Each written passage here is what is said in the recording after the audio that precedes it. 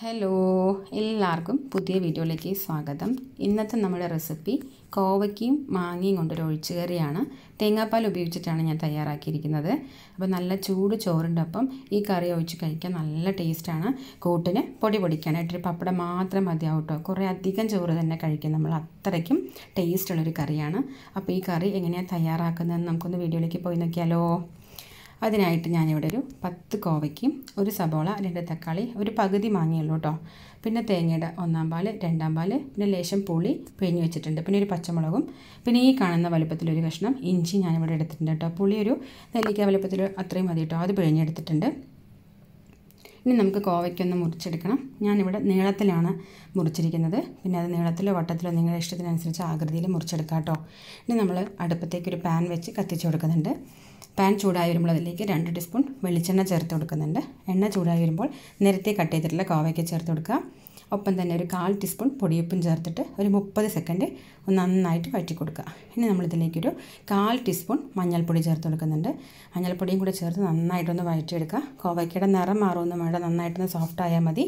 ഇനി ഇതിലേക്ക് ലാസ്റ്റായിട്ട് ലേശം ഉണക്കമുളക് ചതച്ചത് കാൽ ടീസ്പൂൺ ചേർത്തിട്ട് ഒരു മുപ്പത് സെക്കൻഡ് വഴറ്റിയെടുക്കുക. കഴിഞ്ഞു. നമ്മുടെ കോവയ്ക്കൂടെ ഫ്രൈ ആയിട്ടുണ്ട്.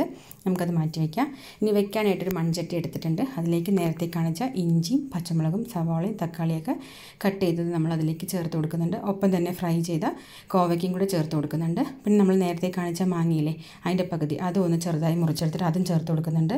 പിന്നെ ഇതിലേക്ക് ഒരു ഒന്നര ടീസ്പൂൺ കല്ലുപ്പും കാൽ ടീസ്പൂൺ മഞ്ഞൾപ്പൊടി രണ്ട് ടീസ്പൂൺ മുളക് പൊടി രണ്ട് ടീസ്പൂൺ മല്ലിപ്പൊടി. പിന്നെ നേരത്തെ എടുത്തു വെച്ചിട്ടുള്ള രണ്ടാം പാൽ തേങ്ങയുടെ അതും കൂടെ ചേർത്തിട്ട് നന്നായിട്ടൊന്ന് ഇളക്കി കൊടുക്കുക. പിന്നെ നമ്മളിതിലേക്ക് വേറെ വെള്ളമൊന്നും ചേർക്കുന്നില്ല. അപ്പോൾ പോരാത്തത് വീണ്ടും നമ്മൾ കുറച്ചുകൂടെ തേങ്ങയുടെ രണ്ടാം പാൽ ചേർത്ത് കൊടുക്കുന്നുണ്ട്. ഇനി കറി ഒന്ന് നന്നായി ഇളക്കിയിട്ട് നമുക്ക് തീ ഒന്ന് കത്തിച്ചു കൊടുക്കാം. ഇനി നമുക്ക് കറി ഒന്ന് അടച്ചു വെച്ച് വേവിക്കാം കേട്ടോ. ഒരു പത്ത് മിനിറ്റിന് ശേഷം ഞാനിവിടെ തുറക്കുന്നുണ്ട്.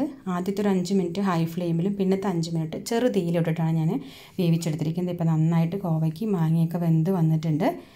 അപ്പം ഇനി ഇതിലേക്ക് നമ്മൾ പുളി. ആ കാണുന്ന പുളി ഞാൻ കംപ്ലീറ്റ് ഒഴിക്കുന്നില്ല കുറച്ചേ ഒഴിക്കുന്നുള്ളൂ.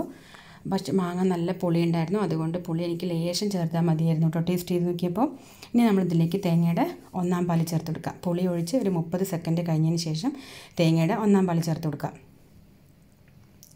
തേങ്ങയുടെ ഒന്നാം പാൽ ചേർത്ത് കഴിഞ്ഞാൽ കറി നന്നായി വെട്ടി തിളയ്ക്കാനൊന്നും പാടില്ല.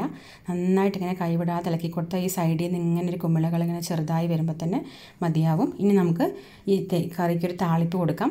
ചീനച്ചട്ടി വെച്ച് രണ്ട് ടീസ്പൂൺ വെളിച്ചെണ്ണ ചേർത്ത് കൊടുക്കുന്നുണ്ട്. എണ്ണ ചൂടായി വരുമ്പോൾ ഒരു നാലല്ലി ചെറിയുള്ളി അരിഞ്ഞത് ചേർത്ത് കൊടുക്കുക അതൊന്ന് വഴറ്റിയെടുത്ത് മല്ലിക്ക് ഒരു കാൽ ടീസ്പൂൺ ഉലുവ ചേർത്ത് കൊടുക്കുക അത് നന്നായിട്ട് വഴണ്ടി വരുമ്പോൾ ഇതിലേക്ക് ഒരു തണ്ട് കറിവേപ്പിലയും ഒരു കാൽ ടീസ്പൂൺ മുളക് പൊടി. ആ മുളക് പൊടിയുടെ പച്ചമണം മാറുന്നതിലൊന്ന് വയറ്റി കൊടുത്തിട്ട് ഈ താളിപ്പ് നമുക്ക് കറിയിലേക്ക് ചേർത്ത് കൊടുക്കാം കേട്ടോ.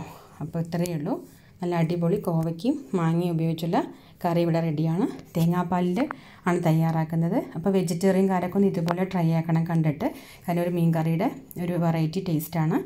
അപ്പോൾ നിങ്ങൾക്ക് പുളി ഉപയോഗിക്കാതെ മാങ്ങ മാത്രം ഉപയോഗിച്ചിട്ടും ഈ കറി തയ്യാറാക്കാം കേട്ടോ. ടേസ്റ്റിൽ വ്യത്യാസമൊന്നും വരില്ല. നല്ല പുളിയുള്ള മാങ്ങയാണെങ്കിൽ അത് മാത്രം ഉപയോഗിച്ച് തയ്യാറാക്കാം.